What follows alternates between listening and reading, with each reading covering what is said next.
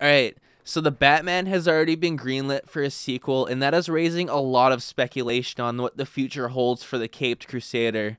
There's been rumors that Mr. Freeze will make his appearance at the end of the Batman, as that will set up the sequel, and I am here to tell you that that is the best idea, and I really hope that this follows through. Mr. Freeze really got the justice he deserved in the animated series, but in live action, he just...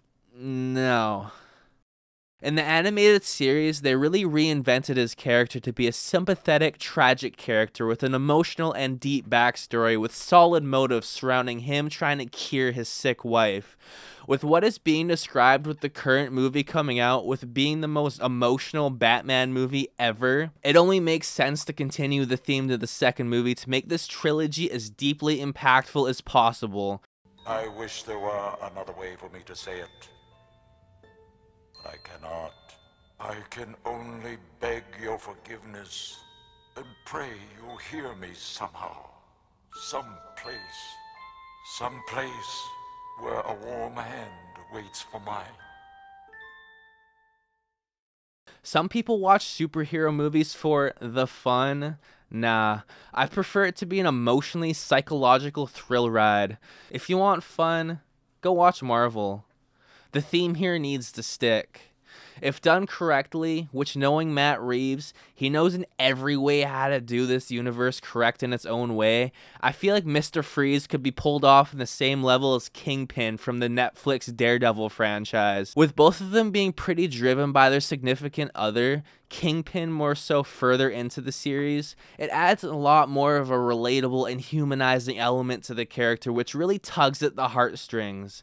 And with Mr. Freeze basically losing his wife, the one closest to him, it would tie Batman emotionally to the villain as they both have suffered the loss of the ones closest to them, as it would most likely cause more emotional disturbance within Bruce as he would see and sympathize with Victor's motives, making way for a psychological thrill ride quite like nothing else.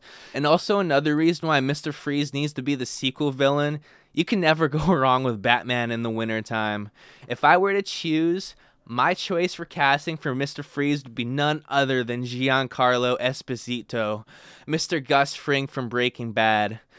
The extremely cold, calculated, and psychopathic element he brought to the table within that show really proves that he would and could pull off an amazing Mr. Freeze. Hell, he even looks the part. Since this movie franchise has been announced as a trilogy, it only makes sense to make the third movie to be fully themed around the Court of Owls.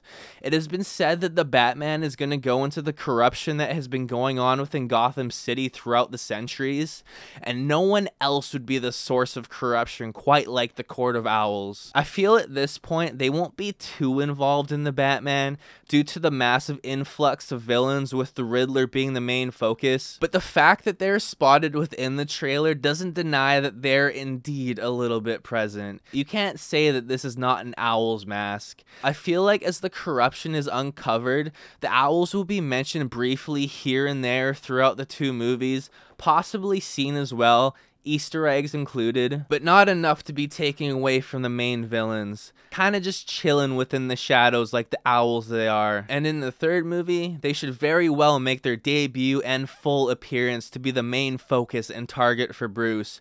Waiting for the third movie to fully unleash the court would be the ultimate power move as they would slowly be getting built up throughout the first two films. It would be interesting to see everything that Bruce once knew slowly getting flipped upside down down due to the corruption of the owls, and having him come face to face with them in the third and hopefully not final installment. The emotions he would have festering and building towards them would be fully coming out with a vengeance, making it for another emotional ride with the Dark Knight. Hopefully, serving us with the most emotional Batman trilogy ever. Having the trilogy end on the Court of Owls, I feel would make an even better way to expand the universe in future installments through spin off shows or potentially spin off movies. A pretty strong note to end on, especially since they have never seen the big screen yet. This franchise is my most anticipated franchise of literally all time, and nothing gets me more hyped than talking about the Batman and what could be. I hope that these are the routes that they take. I mean, if not, I will be happy with whatever happens, but looking at it from the tone and themes the first movie will tackle, this makes the most sense to me. So, wrapping things up, my name is Freddy Savage, bringing you what I want to see in the sequels to The Batman, and I'll see you next time.